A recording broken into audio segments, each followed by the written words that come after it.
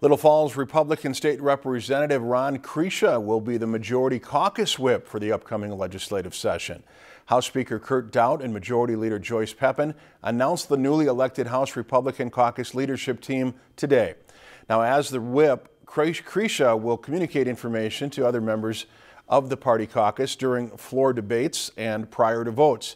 Kresha represents District 9B, which covers all or parts of Morrison and Todd counties.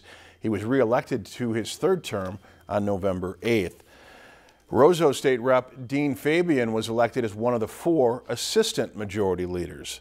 If you've enjoyed this segment of Lakeland News, please consider making a tax-deductible contribution to Lakeland Public Television.